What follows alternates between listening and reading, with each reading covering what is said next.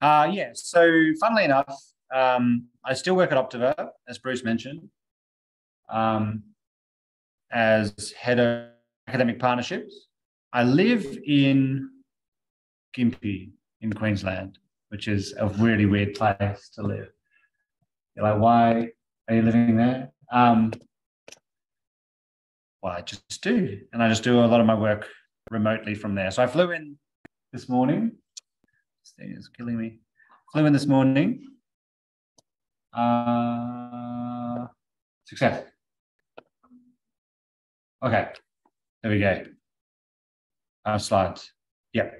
Flew in this morning, did a talk at Optiver, come here to do a talk about prime numbers. Um, yeah, live in the middle of nowhere. That's pretty much me. So really excited to come and talk to everybody about prime numbers.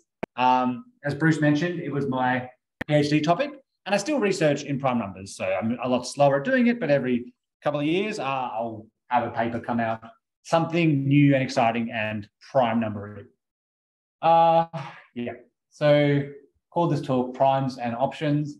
Um, but I'm not going to talk about you know the options you trade. I'll talk more about you know a little bit of maybe about the options that you have out there being a, a mathematician, and I'll also talk about what sort of stuff you can do out there. Um, you know, if you want to, research prime numbers. So there's lots of stuff around. Um, when I first wanted to get into primes back in sort of 2010, 2011, there wasn't really anywhere to do it. Um, and then uh, a mathematician called uh, Tim Trudgian moved to ANU, and I went into my PhD at ANU. And he's now at UNSW Canberra. Um, has anyone heard of Tim? Tim Trudgian?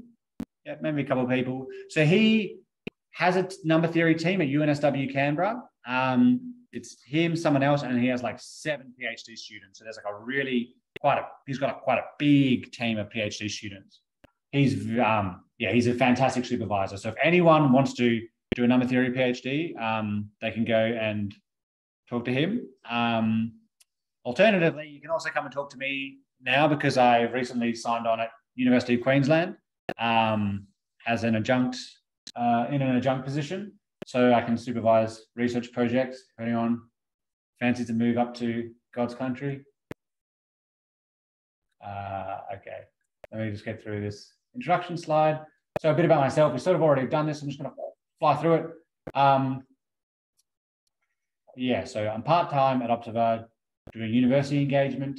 And then in my spare time, I do a bit of number theory. Um, I have this blog called Maths Feed that some of you know about and have even contributed to, um, or at least would have if I um, could get my act together. I've got three tiny children. Uh, they take up a lot of my time. And I've also started looking at some quantitative biology stuff. So um, in terms of mathematics, I really like maths because you can just, you can do prime numbers for a bit. You can go trade options for a bit. You can uh, look at, you know, genetics and genes and that sort of thing for a bit. Like maths gives you this amazing position to just then go and look at all these different interesting things with this incredible mathematical lens. So you can go and be, um, you know, a better biologist and a lot of other biologists are a better um, so you can do better in finance. And people who are trained up in finance like maths is incredibly powerful that way. Um, so today we'll talk a bit about primes. Uh, i'll try and give uh, i'll talk a bit about my phd research and I'll, I'll try and give the flavor of the area of number theory that i was in. So i was in an area called analytic number theory and uh, it's, absolutely fascinating prime numbers are like discrete objects right so like your primes, you've got your list, you've got two, three, five, seven, 11. There's discrete countable set. Um, but analytic number theory is the process of studying that discrete set using you know, calculus and analysis and continuous and differentiable functions.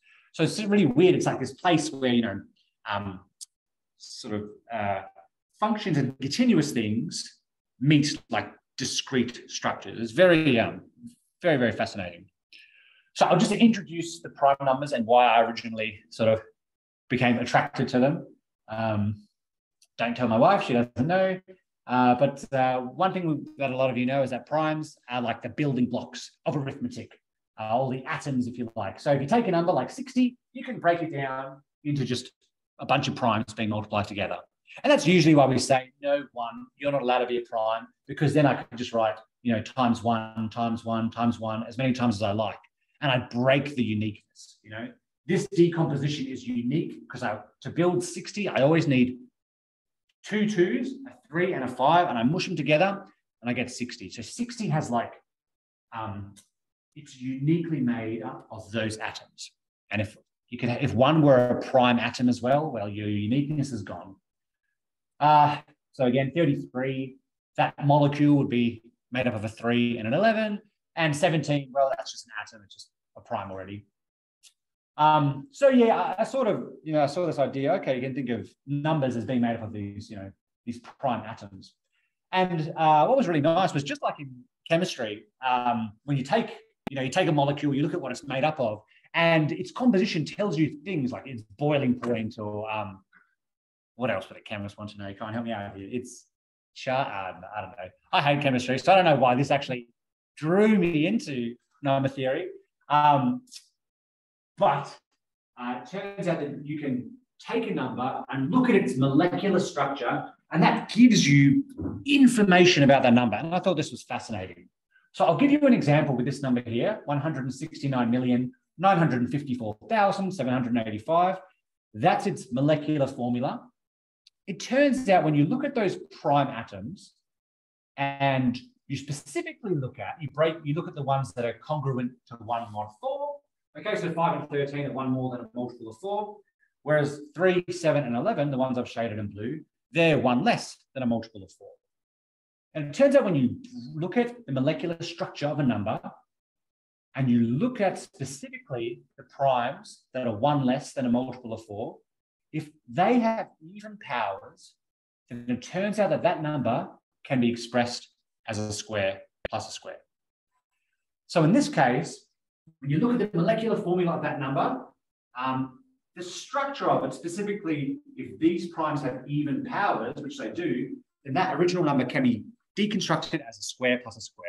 And it's an if and only if as well, I believe. So this goes back to this guy, Euler, um, 1749. I just thought that's fascinating. So, you know, the, the primes are they have the, they have a place. They're very important. The way you build a number out of primes, um, you you can you sort of getting certain properties. That's just sort of one example, um, but but there are um, plenty of others.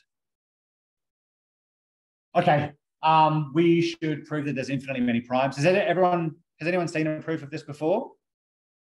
Yep, yep, and it's usually the one like Euclid's one from like you know, 2,300 years ago. Uh, we'll do something a little bit different. Here's a proof that I quite like, similar in nature, I suppose, but it was only published maybe 30 years ago. Very simple and short and very nice. Um, so let's prove that there are infinitely many primes. Well, we'll just use this fact that any two consecutive numbers, like 5 and 6 or 13 and 14, uh, they have no prime factors in common. I guess that makes sense, right? Like if you think about um, multiples of two, you start at two and you're always jumping two to get to the next one. Uh, same with multiples of three, you start at three, you're always jumping three to get to the next one, right? Three, six, nine. So there's no way, like, for two numbers to be right next to each other and have a prime factor in common. That's impossible, right? Because you're always jumping, always jumping over at least the next number. So hopefully everybody accepts this. That's all we really need. What we're going to do is I'm just going to make a sequence of numbers, okay? So there'll be, a, you know, I'll call this A1 and A2, A3, A4, and so on. And it turns out that the nth element in my sequence will be divisible by at least n different primes. Um, and then from there, it's pretty much straightforward. It's pretty straightforward to just say, well, we can just take n as large as we want, and we'll get a number that's divisible by as many primes as different primes as we want. So there must be infinitely many different primes. So I'm going to show you how, how we do this. Let's just start with the number three. Three is divisible by one prime number. This will be the starting element of my sequence. I've come up with a number, the first thing in my sequence, and it's divisible by one prime number. Well, to make another number, um, I know from my fact that any two consecutive numbers have no prime factors in common. So the next number up from three, four, um, yeah, that's right. Four has to be divisible by some new prime factor that I haven't already captured here. So then, if I take three and I multiply by four, I get a number that has to be divisible by at least two prime numbers. We know three is divisible by a prime number. It is a prime. And then four is consecutive to it. It's the next one up. It must be divisible by some new prime factor. There's no way it could be the one that we've already counted. So then we've got, we've got 12, which is the second element in my sequence. That's divisible by at least two prime factors. Then I just do the same thing, right? I know that 12 is divisible by at least two different prime factors. So the number up from it, 13, must contain a new prime factor, something that I haven't seen before. So I'm just going to do 12 times 13. And I know I've got at least two prime factors here. I'm going to get a new one here. So I'll get a new number, 156, and that'll be divisible by at least three prime numbers. So just take an element in this sequence and I multiply it by itself plus one to generate another number. So all I'm really doing here is creating a sequence of numbers where the nth one is divisible by at least n different prime numbers. Um, and this is not a very formal proof, but it wouldn't take anyone in this room long to write to write one up. Okay, so it's a nice simple construction of a number that's divisible by at least n different prime numbers. Okay, so prime's gone forever. Everyone was probably already happy with that. There they are. And I guess the question is, what else can we say about this sequence, right? I have a, how old is she? she's almost, she's almost six. That's why I was wondering. So I have a five-year-old daughter. Um, we talk a lot about evens and odds and primes and that sort of thing. So I can explain this to her. I can say these are the prime numbers, and she's like, "Yep, understand, good." Um, and she calls them that we call them the, the, the, the non-share, the not sharing numbers, so the numbers you can't share. You can't share them. You can't divide them by a group unless that group is as big as the number of things you've got. Um, but I can explain it to her, but it's very hard, right? Mathematicians have spent so long trying to understand the prime numbers. Um, and that's what I think is so fascinating. They're very simple to define, really, really hard to study. Um, and so one of the points of today's talk is to talk about one of the main weapons we use to study the prime numbers, our main analytic weapon. Uh, I'll get there soon, but I sort of felt like I should include um, this result in there. So I could hide this bar at the top. I'm sure there's a way to do it. Uh, no, you can just live there. And you just so you know, it's only concealing ones. So um, there's this. So you, you all know about like the harmonic series. That's if you do like one plus a half plus a third plus a quarter plus a fifth. And that thing goes off to infinity. It turns out that the reciprocals of the primes, if you sum them up, so 1 over 2 plus 1 over 3 plus 1 over 5 and so on, that goes off to infinity as well. Has anyone seen a proof of this? Yeah. Okay, this will have no this will have no Mobius functions. This is what I'll give is probably a proof. The reason I'm going to give a proof is there's an identity that ties in uh, an inequality rather that ties in a little bit later. Um, and I just think it's I think it's nice to see a, a proof like this, or rather to show you a little bit of the flavor of how you can use estimates and stuff from calculus to study prime numbers. Um, so I'm going to prove that the sum of the reciprocals of the primes gets arbitrarily large. Now, um, with the harmonic series, if you do one plus a half plus a third all the way up to one over x or something, that's roughly going to be about log x. So that's how fast that sum grows, or the partial sums will grow. Uh, for the primes, it's like log log of x. Um, there's lots of there's this joke. What do you you know? What sound does a drowning number theorist make? Log log log log log log log. Because in number theory, there's lots of logs of logs. Okay, so it's very common to see like four nested logs in like a number theory paper. Um, but who would drown a number theorist? That's what I ask you. So uh, let's prove this thing. So um, it starts off with this little inequality. Okay, we first observe that. I love when people are like, we just observe. It's just there. We just observe it. I mean, someone obviously has to come up with it. Uh, so on the left-hand side, I'm just doing like one plus a half plus a third plus a quarter plus a fifth and so on. I've sort of got the harmonic series back up there on the left. And it turns out that this sum over the natural numbers, the reciprocal, the sum of the reciprocals of the natural numbers is going to be less than this product over primes p. So whenever you see a p in the talk, it's going to be a prime. And it turns out that that is less than that. And you might think, well, how? Um, I guess let's have a look at what that product actually is. So I'm just going to write it out in a bit more longhand. So it's a product. So for every prime, I'm going to have that thing. I'm going to multiply, is a product. I'm going to multiply them all together. So for the first prime two, I'll have this set of brackets. For the next prime three, I'll have this set. The next prime five, I'll have that, that set. And then the reason that that product is bigger than that sum is when I actually expand out that product, I can recover, because numbers are made up of the primes, when I expand out that product, I can recover all the stuff on the left, at least. So for example, if there's like, um, there'll be like, you know, a one on 18 on the left-hand side. And when I multiply all this out, I'm going to get like a one on uh, one on two times one on three squared um, times one times one and so on. But when I do the expansion, I expand it out term by term, you're going to get, you're going to recover all of the numbers. And some of them you're going to recover, um, well, you recover, uh, because your prime's going up to x, you're going to recover things that are bigger than x as well. Whereas, so the right-hand side is going to be strictly greater. Does, does that sort of make sense? Yep. So you do that expansion and you get all the stuff on the left just through this multiplying out and plus some extra stuff. So the right-hand side is going to be bigger. So if you're sort of happy with that, um, then we can go to the next step. The next step is just a little bit of, this is a little bit of algebra we do now. I'm just going to rewrite it. And I'm just going to take out this common factor of 1 over p and open up another set of brackets like that. So I've just factored out 1 over p there. And then that inner set of brackets, 1 plus 1 on p plus 1 on p squared plus so on, so on, so on.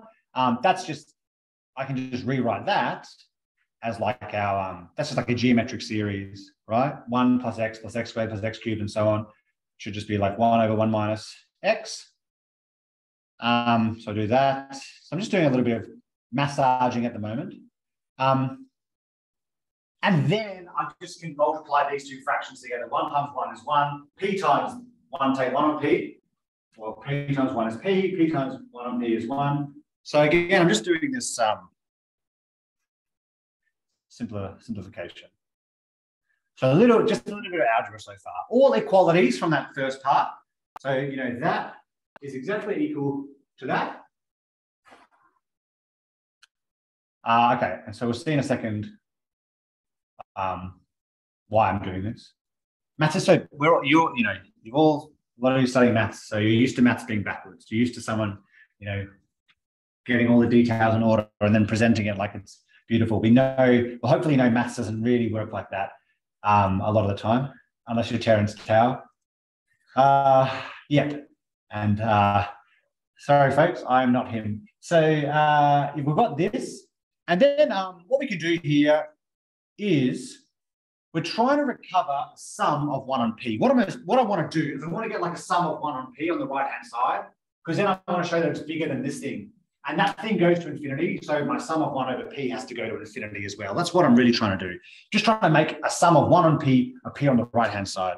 I'm sort of getting there. Um, but we just use this fact, right? Like I've got this, um, we know, well, the nice thing is I've got a product. I want to get a sum.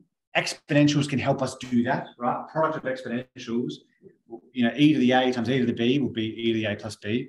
So I sort of want to convert what I have on the right to exponentials. So um, because e to the x is 1 plus x plus x squared on 2 factorial plus so on, um, 1 plus x, just those first two terms, have to be less than e to the x. So if 1 plus x is less than e to the x, then 1 plus blah is going to be less than e to the blah. I'm just going to do that. I'll write it as x of 1 over p minus 1. And now the product of e to the blah, right? I can move the product, I can change the product to a sum. A lot of you will be used to this idea, logs and exponentials, right? You're just communicating between sum land and product land. Right, all I've done here is I've just used e to the a times e to the b is e to the a plus b, all right? I've got a lot of e's being multiplied together here, and I can just bring the E out and put everything in the power as a sum. This is good. I reckon this is good enough, right? I'm trying to prove that the sum of 1 over p diverges. What do I have? The sum over 1 on p minus 1. I mean, they're pretty much the same thing, right? The denominator is going to be slightly off. Yeah, it's good enough. I mean, A, A minus or maybe maybe B plus. Um, if you wanted to do it, because at this point, the left-hand side goes to infinity as x gets really large. So the right-hand side, which is um, bounded below by the left-hand side, must also go to infinity. And this is e to the something, so this must go to infinity. So you think we're pretty much done. Um, honestly, you could just do like a little bit of an extra step to like convert that into like this. You get, you get, but honestly, it's it's it's good enough. It, it, it works. It works. Um, any questions about that proof?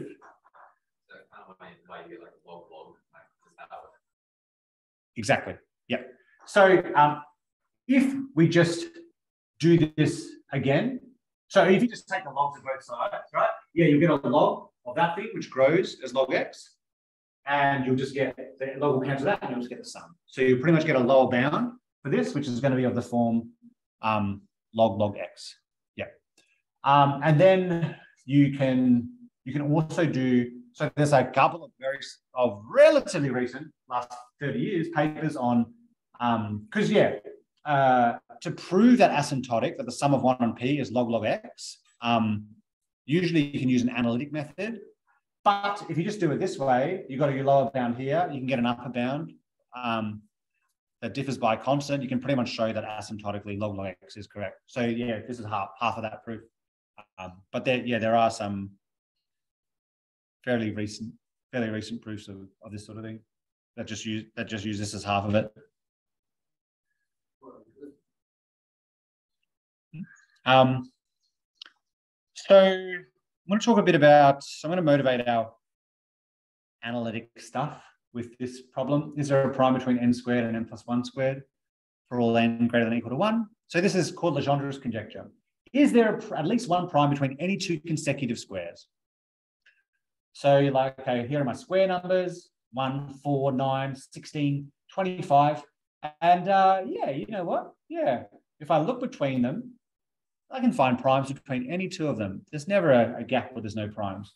So yeah, Legendre's conjecture must be true. Uh, talk finished we can all go home. Uh, so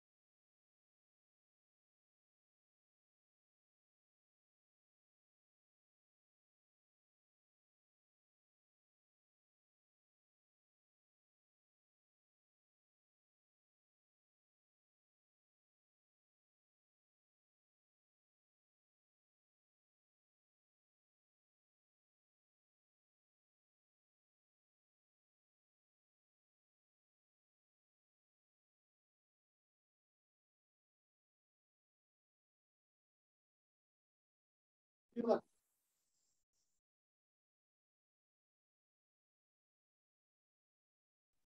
long period of time. Um, but it's like one of those things that's always just like one, one step away. Um, yeah. So what I did during my PhD, one of the problems I worked on was similar problem, prime between cubes. Can't do squares, why not try cubes? Um, this was something that had already been worked on like 100 years prior. Uh, and someone, uh, a mathematician by the name of Ingham, uh, Magdeburg's legend, a mathematician by the name of Ingham has shown that there is a prime between consecutive cubes, but he only had managed to prove it for all the cubes. He just proved it for like from some point. And he didn't really bother saying what that point was. He just did the maths, and, you know, kept everything using like big O notation. And um, basically, it was enough to be like, yeah, definitely, definitely works. It's definitely true. Uh, who, who cares? Um,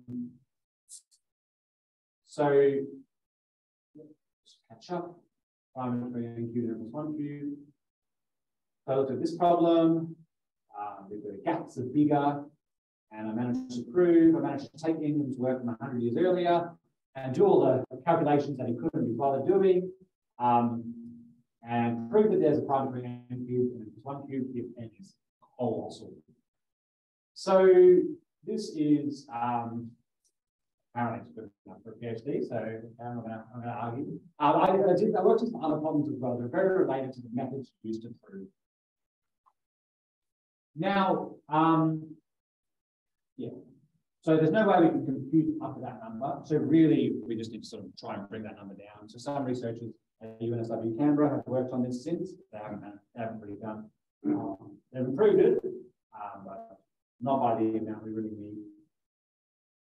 If we can get this down to about 10 to the 17, I reckon we're in business. We can finish it off with a, with a computer.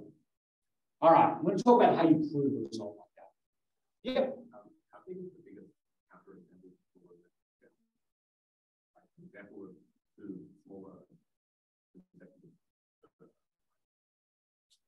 um, there are no counterexamples. It's just assumed that it's true for all of them. Like it probably is just true for all cubes. I would I would bet everything I have. you checked 10 to the 12 minus Ah, yeah. No.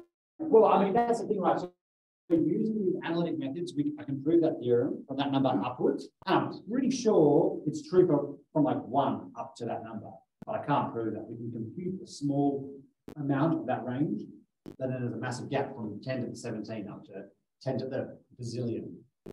Um, so I don't think there will be any counterexamples. I think it's true, but obviously it's not good enough for mathematics, right? So um, still waiting on someone in this room possibly to uh, sort out the remaining bunch.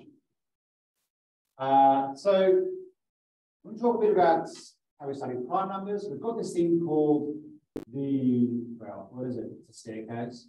Um, steps up at prime numbers. Uh, I guess you could put it in your house if you wanted to, but it's a bit of a weird staircase. So this is called the prime counting function. We write it as like pi of x, and it just counts the number of primes up to and including x. So um, it's just a step function, steps up one at every prime number. So like pi of seven, pi of seven is just number of primes less than equal to seven. Two, three, five, seven, four. That's why it's seven steps up and it's now equal to four until you hit the next prime 11 where it has to step up again. So this is the prime counting function. Um, so it turns out that if you zoom out, right, you just zoom out and you make this rather than looking from 1 to 11, you look it's just smooth, smooth there. And your eye cannot resolve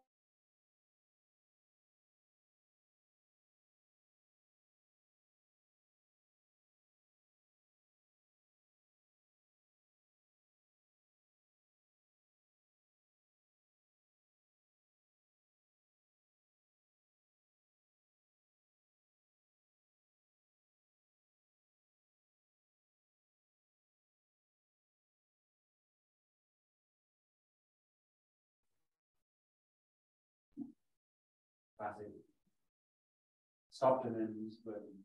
So this is exactly what the prime number theorem is. In, in those terms, I mean, it pretty much is that. The prime number theorem is the statement that when you zoom out on this thing, it's pretty much, you can also plot x over log of x and you wouldn't see any difference. You wouldn't be able to resolve any difference your human eye. Uh, mathematically, of course.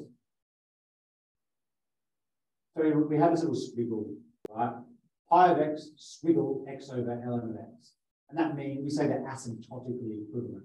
And it basically means if I just look at the quotient of those two things, and take the limit as x goes to infinity, it's equal to 1. Which means that if I approximate pi of x by x over natural log of x, the percentage error between those uh, in that approximation goes to zero. Your eye cannot resolve down as, as low as you like. So this is the prime number theorem. The prime number theorem is the statement that pi of x is asymptotically equivalent to x over log of x. And this really means you do that, and it looks like that's an as far as eye is concerned. Okay, so we've got this prime staircase, this prime counting function. We're actually studying this other sort of funkier staircase. It makes things a lot easier. So I haven't proven the prime number theorem. I will show you how it's proven. And it's also tied into how you prove stuff about primes between cubes and other things. So we look at this funkier staircase. This just doesn't step up at primes. It also steps up at numbers which are a power of the prime. So um, we call it Chebyshev psi function. It doesn't just jump up at two, it'll jump up at the power of two as well. And it'll, it'll jump up by the same amount, log two, at two and all the power of two. It'll jump up by log three at three, and also jump up by log three at nine. So at any power of three, it jumps up at log three. At any power of five, it jumps up by log five, right? It's the sum of log p for every number p to the power of n less than or equal to x. So that's this Chebyshev psi function. So why do we look at this? Well, you'll see very, very shortly.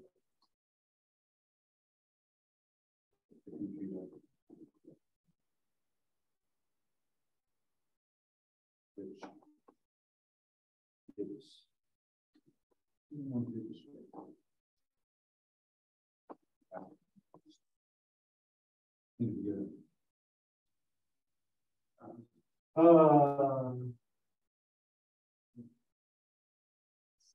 really detests me actually.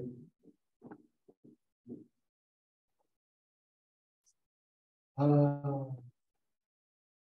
this is just I do this all the time. It's building, it's about building suspense. Everyone is dying that.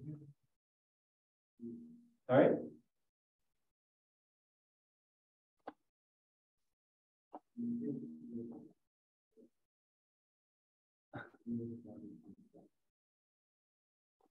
Oh, gosh.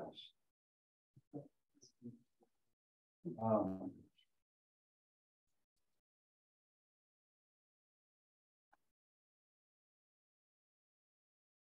I'm going to duplicate that, let it reload, and then see how we go in the meantime. Sort of just look at it here while the other one's loading. So, um, so we have a prime number theorem for our prime staircase. It's actually equivalent to a different formula. Now that we've got our funky log staircase that jumps up at primes and prime powers, it turns out that if you zoom out on that second staircase, the log one, it looks exactly like the straight line y equals x. And that's another way of expressing the prime number theorem. Okay, so it means the same thing as before. It means the limit of x goes to infinity of psi of x over x is equal to one. Um, and you can, as an exercise, if you want to prove that this form is the same as the other form, um, but you might need to Google like partial summation before you do that.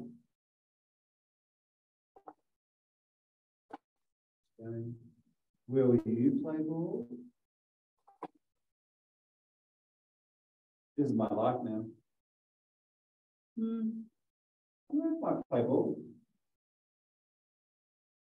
We're in business again. Don't press button faster than two times in a second. All right.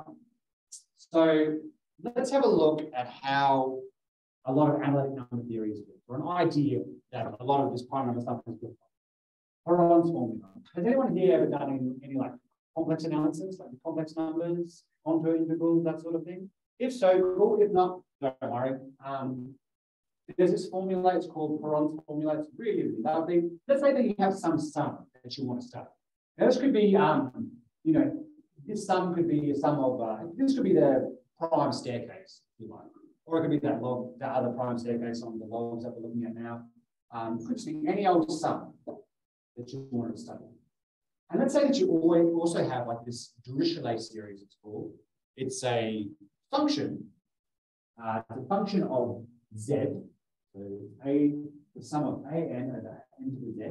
This thing is called the Dirichlet series. So often in mathematics, we study these Dirichlet series. Um, and it turns out what we're going to see is that if you've got like a sequence that you want to study, so it could be the sum of log p, right? And it's or the sum of log n, but it's like got an indicator attached to it. So you only register that log when n is prime um, or a prime power. If you've got a Dirichlet series, so a function that has this form where the numerators are that sequence you want to study, it turns out that you can use some complex analysis to pull information out of it. So what do we do to do that? Well, we take the Dirichlet series, we do some complex analysis stuff to it, we'll contour integral over like an infinite vertical line, a bit of a scaling factor in there. And if we do that, we can get information about our original sum, uh, about the sequence we want to study. So this is really a key idea. Going from a Dirichlet series, which is usually like some crazy analytic function, just properties about the sum of the sequence itself, or the partial sum of the sequence. This is a really powerful idea. If you've done complex analysis, the proof of this would maybe take you five minutes to understand. It's quite, um, it's quite simple. Okay, so in this case, we're looking at that funky log staircase. This is the function we're using. A subscript n is log p if n is prime power, it's zero otherwise. So the thing on the left is going to be that if I choose an to be that, the thing on the left is going to be psi x, my funky staircase. Uh, but I just need a Dirichlet series. I need to come up with the right Dirichlet series. Um, so what do I need? Will look like that, I suppose. So it's like, well, this seems like I'm just making the problem harder. The reason I'm not, and the reason that we're studying this crazy staircase is that this Dirichlet series actually comes up really naturally when you start looking at the Riemann zeta function. Don't know why it's like that, but that's all right. Just leave it alone. So there's this thing called the Riemann zeta function. It's sum of 1 over n to the s. As, um, it's a function of s, right? And n gets summed from 1 up to infinity. So for example, like zeta of 2 is just the sum of 1 on n squared over all n. So zeta of 2 we know is pi squared over 6. Um, zeta of 3, we who knows? We know it's irrational. Um, we've known that for about 43 years, but uh, no one's ever written down a nice little formula for it. Um, it turns out, right, if you take your Riemann zeta function, now this thing on the left, it doesn't, if I put like s equals one in, for example, I'm just going to get the harmonic series. I'm infinite thing. It makes no sense. In fact, that's true if I put in anything less than one. I put in like zero and a half. That should also die there. What we do in complex analysis is we take this function and we look at the part of it where it makes sense. So this function makes sense if the real part of S is greater than one, converges. And then we do something called analytic continuation. And we extend that function into something that does make sense. So the Riemann zeta function is, yes, this thing when the real part of S is greater than one. So when that thing actually converges to a, to a number. And then we use analytic continuation to extend it to almost the entire complex plane um, in a way that will give us sensible numbers everywhere except it still has its pole at S equals 1. Can't get rid of that. Uh, it turns out that this zeta of S, if you look at this thing, the negative of the derivative over itself, you get exactly the Dirichlet series we need. Okay, why did we talk about the connection between the Riemann zeta function and the primes? Well, because if you take the Riemann zeta function and you come up with that funky thing on the right, and it looks crazy, but it's not really, um, you express the zeta function in its prime product form. Not too hard to do. If you understood that proof we did before, where I said that the sum of one and n was less than that product over primes, as you take x to infinity, sort of, you'll be able to show you'll roughly get equality. And that's where that's why that and that thing are the same. There's a bit of a connection there. But yeah, if you just rewrite zeta of s in this product way, which is a homework exercise for everyone here, um, and then take logs and differentiate, you'll get that. Right, you know when you differentiate log of like a function, you get the derivative of the function over the function itself. That's what you've got here, the derivative of a function over a function itself. So you've taken log of that and differentiated. And the thing that pops up is exactly as exact is exactly the Dirichlet series that we need. Okay, so now we can take Perron's formula. We want to get psi of x, our funky log prime staircase on the left, and we want this. Um, we can use that to replace series there. I've done the contour integration for everyone here, so you're welcome. Right, someone already did for me. But if you do that, right, if you carry out the, again, this is a bit of complex analysis. It's nothing too crazy when you actually do it. But what do you get? When you get X, and you get this crazy stuff here, we'll talk more about. And then you get stuff here, and this small, when I say small stuff, I mean small, like it's bigger of one. It's like a constant, um, basically, a, a term that vanishes as x goes to infinity. So small stuff we really cannot worry about. Psi of x is equal to x minus the sum over rho over rho is, x to the rho over rho, plus garbage we can get, like, forget. So um, we'll talk a lot about that sum. X is going to be the main term. Or rather, if the prime number theorem is true, then X is the main term. Because remember, the prime number theorem is just a statement that psi of X and X are pretty much the same thing, like the relative error between them goes to zero. So it really just means that this thing, the order of this thing, it's small compared to X. You know, if X gets large, we just forget about that. In percentage terms, it's very small. If you can show that, you can prove the prime number. So this sum is a sum over the non-trivial zeros of the zeta function. All right, let's talk about what we mean by that. Mad animation, something Um, okay. This is all the stuff you're allowed to put into the Riemann zeta function. You can put in complex numbers. Um, some stuff, it has some zeros. There's some numbers you put into it, but it will spit out zero. It has these, it has zeros at negative two, negative four, negative six, and so on. We call them the trivial zeros right? They're, they're not interesting. You can you work them out after a bit. What's um, you have this pole at S equals one. All of the other zeros, it turns out, lie in this strip, this critical strip, where the real part of S is between zero and one. And in fact, as you start to do some, you just have to look at the function and do a bit of analysis, um, they all seem to be on this line. All of these non-trivial zeros seem to have a real part of one half. Um, and this has been confirmed for a lot of them.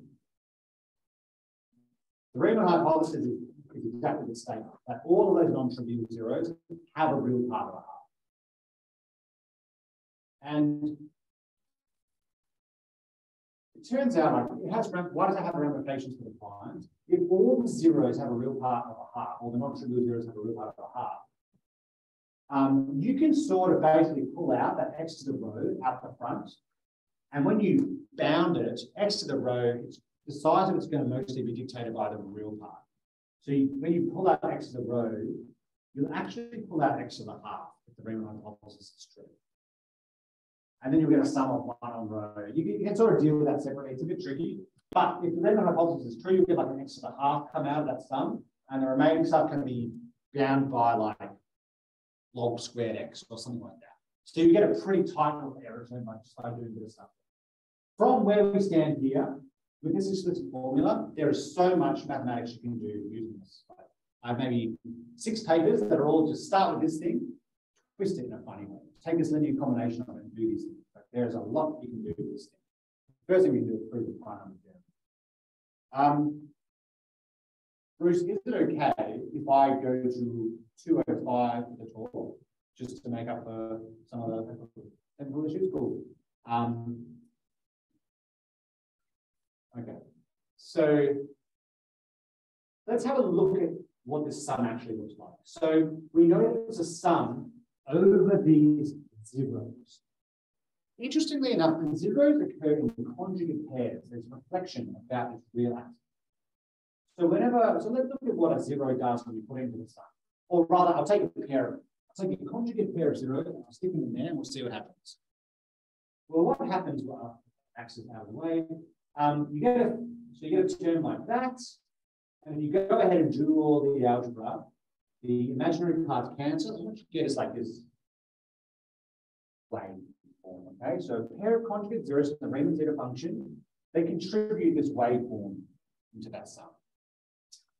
Uh, I guess it's like a musical note, if you like. Uh, starts off quiet and high frequency, and then loud and low frequency. It's like a whale, right?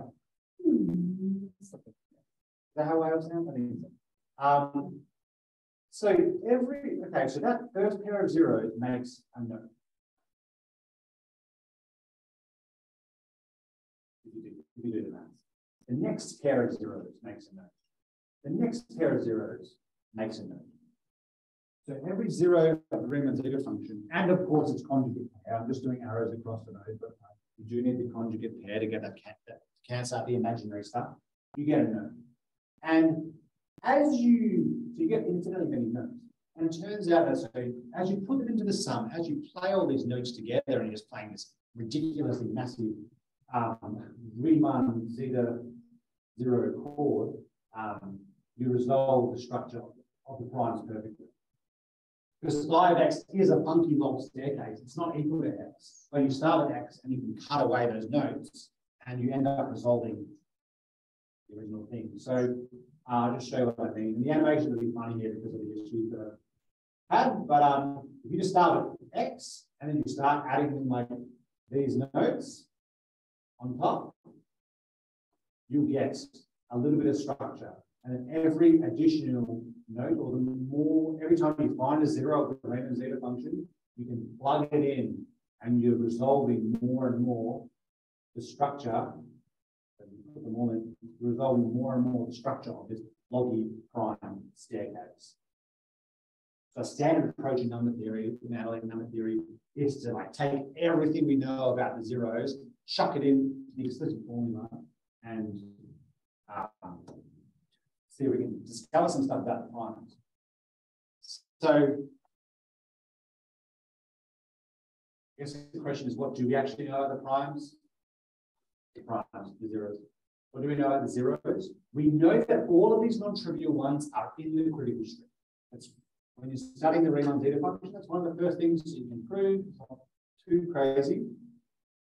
To prove the prime number theorem, right, we just need to prove that um, that sum there is less than x. There's nothing compared to x. You can sort of do that just by showing, right, that the zeros can't be on the edge of the strip. If you can knock off the equality part of that inequality, that's the prime number theorem. Because then that x to the rho can't be as big as like x to the prime. Essentially, like you do the maths, you down some stuff, you won't be able to get it. So then automatically we'll show that that sum is not going to be as big as that main All you really need to do is the prime number here. Um, you just say there's no zeros there. What, what else can we do? Well, after a lot of work, you can show that not only can the real there's a real part of a zero have to be less than one, it has to be less than one minus another tiny little. um, so that's called a zero-free region. It's sort of shaving off some rules, showing that you know you can't actually get too close to a line. Not only can you not be on that line, you can't be too close to it. There's also things called zero density estimates, where you can show, hey, there's not, if there are zeros near that, you know, near the edge of the strip, there can't be too many of them. And then there's also like direct, like numerical verification. So for example, there's this result in 2020 the lowest 12 trillion zeros are all on that line. So if you go up and you, you get your critical strip and you start going through the zeros, that makes that easier to fit. You can check that they're on that line, and it turns out that the first 12 trillion of them are at least. No one's ever found a counterexample to the Riemann hypothesis. Um, actually, this result is um, Tim Trudgian and Dave Platt. So Tim Trudgian's at UNSW Canberra, uh, and Dave Platt's at the University of Bristol, and they have this result. Um, they've now been able to verify the Riemann hypothesis to a, a height greater than anyone else. So you start chucking all this stuff in. So, for example, for my stuff of prime between cubes, I literally looked at like this Chebyshev psi function, and I looked at is there a step between n cubed and n plus one cubed? And of course, it could be like a prime power step, but it turns out they're very small, right? Because they're generated by a smaller prime. It's very easy to account for those prime powers.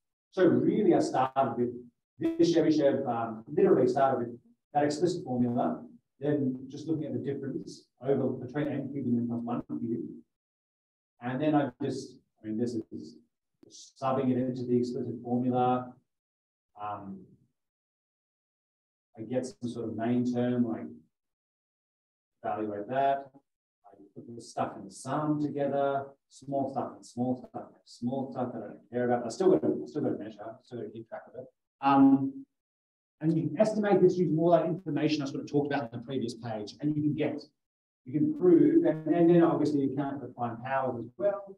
Um, you can prove that this thing is greater than zero, or rather that this is bigger than like this in the small stuff.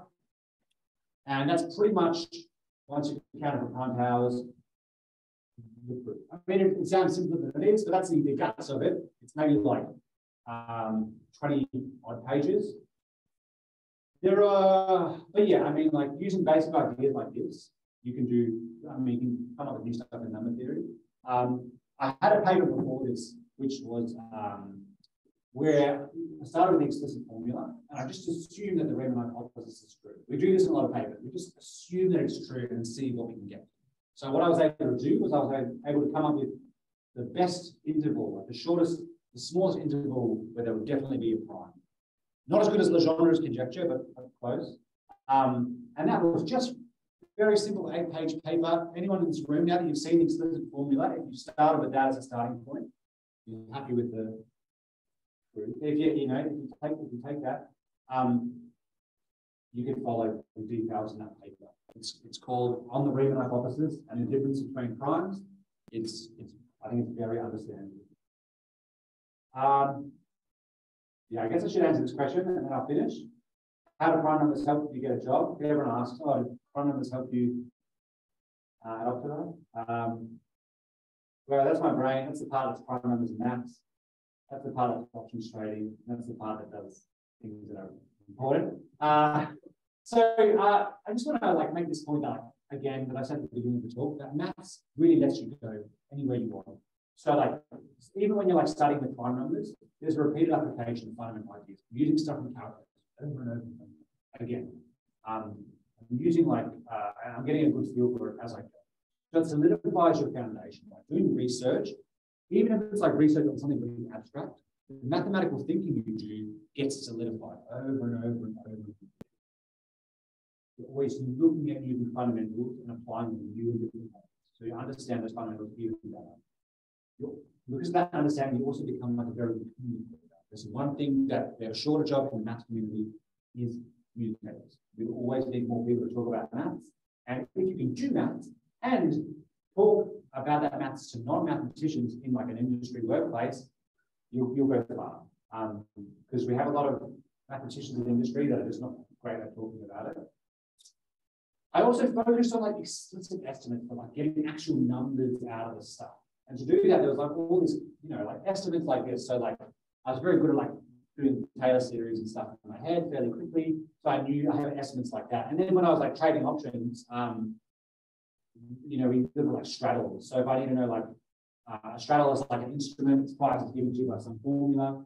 Uh, if I want to know how much the straddle changes price in like a day, I can just do like T, the T plus one form minus the T form, isolate everything out. And then I'd get something, I'd be like, oh, square root of one plus blah, oh, yeah, I've got a, you know, I've got an approximation for that. So I found that in options trading, a lot of the um, estimates and stuff I work with in number theory and just in math in general will just like pop up. So themes just pop up over and over again. Um, doing anything mathematical to a high level makes you more employable almost everywhere. Um, so a job is like a thing that maps your maths brain to dollars. And if you want to know more about getting a maths job, there's a guide on the AMSI website that you can, that you can go and download. Um, there's a summary there, but I'm just going to jump over it because on um, my blog. So you can go to the blog and go to resources and download the a Maths Job Guide. You're welcome to have a look at my PhD thesis if you want to read about prime numbers. Um, the introductory chapter just talks a lot about explicit formula and how you can use it. Um, and uh, if you want to go to that, you can also go and look at that as well. Um, but yeah, that's sorry about the, the technical issues. Um, yeah, uh, our computer is still fixing itself, um, so it's good that we made the change. Um, yeah, sorry that was a bit much towards the end, but uh, yeah, thanks everybody for listening, and I'll be around for. I'm, I'm happy to answer some questions as well.